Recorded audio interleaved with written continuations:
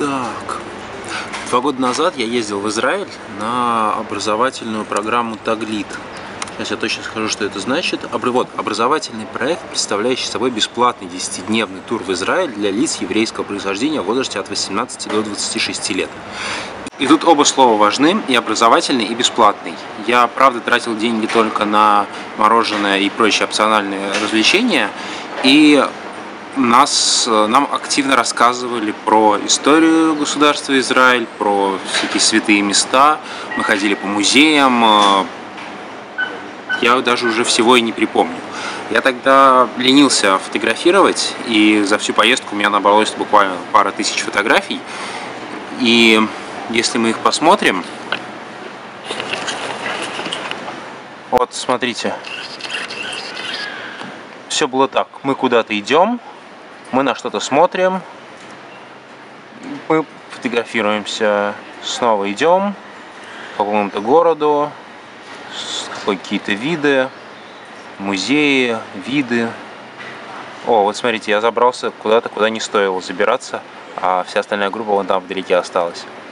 Катались на лодочках, потому что программа культурно-развлекательная. Ой, вот эта мне фотка нравится. И в целом, вообще, провести 10 дней в компании активной молодежи, это очень круто. Я вообще нисколько не жалею, и это действительно было одним из самых ярких впечатлений того лета. А помните э, мое короткое видео, где мы с Мишей Веренцовым тестируем кальян? Тестируем э, купленный в Израиле кальян.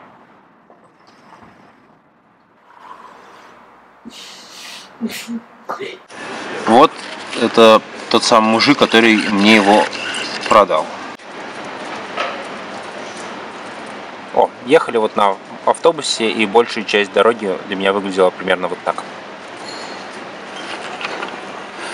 Как бы то ни было, я смотрел на страну исключительно с туристической точки зрения, да и то далеко не все. Например, в Тель-Авиве мы так и не побывали, а это ведь один из крупнейших городов.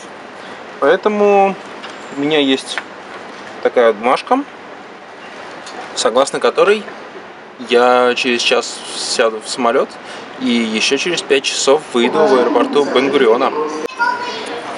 Сейчас поездка у меня займет 10 дней, и большую часть времени я планирую провести в Тель-Авиве, Причем по будним дням я буду работать, а по вечерам э, гулять с сестрой Дашей, которая сейчас там живет уже с февраля. И давненько я ее не видел. Э, я постараюсь побольше снимать, и у меня такая есть маленькая цель выкладывать по ролику ежедневно.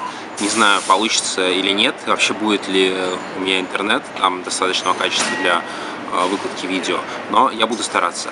И если у меня получится, и если Э, ролики действительно получатся интересными, то заранее сообщаю вам, что мне очень э, важны ваши лайки и репосты, потому что они греют мое эго, э, которому без этого очень грустно и одиноко.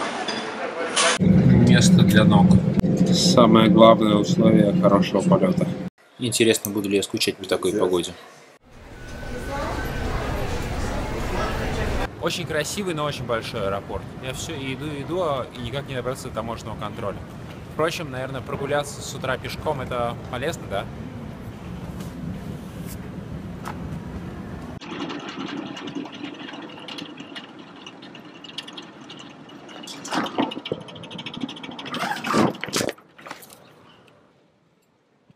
Отлично, даже багаж не потерялся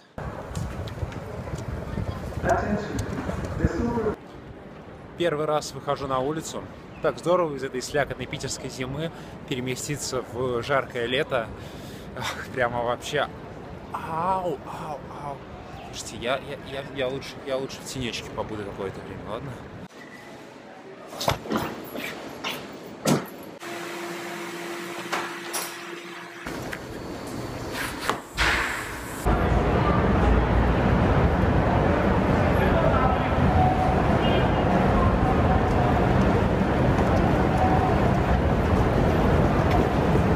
все. Так я чувствую себя одетым гораздо более уместным.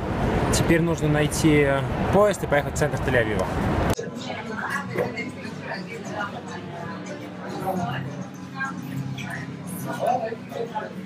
Я только зашел еще в кафе, еще не смотрел ни меню, ни цены, но судя по количеству людей с э, ноутами и айпэдами, которые здесь сидят, это как раз таки то, что мне нужно. Я пришел. Привет! Привет!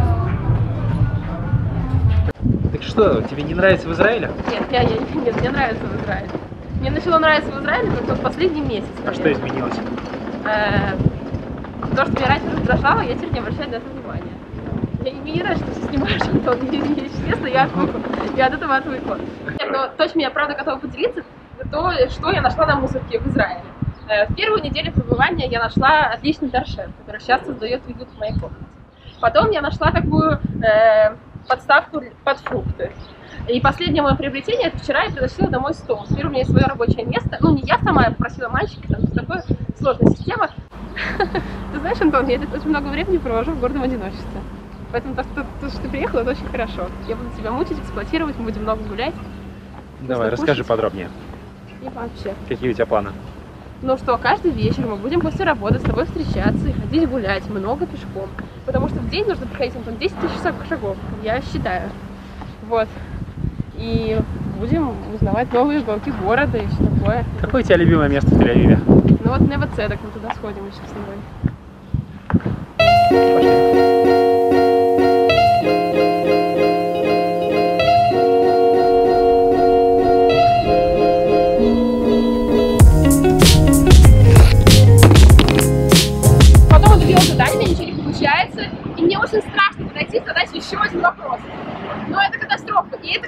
Уже стажировка не про то, чтобы там учиться в автокаре чертить или что-то такое, а просто уметь подойти задать вопрос. Я очень этого боялась. Сейчас уже ничего не боюсь, конечно же. Попросить фалафель на иврите. Нет. Ну, попробуй. Я вообще не знаю иврита, Антон. Я не буду видео. Он понял меня без слов, да?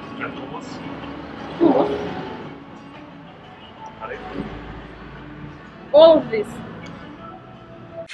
Не знаю, что это. Это очень важно, потому что самое вкусное мороженое, которое есть, говорят. Я не могу повторить так, так же, так, такой же эмоции. Я просто хотела сказать, что ради такой красоты я готова быть в Израиле. Мне это нравится. Бен Джерри просто лучшее мороженое, которое я ел в этом году.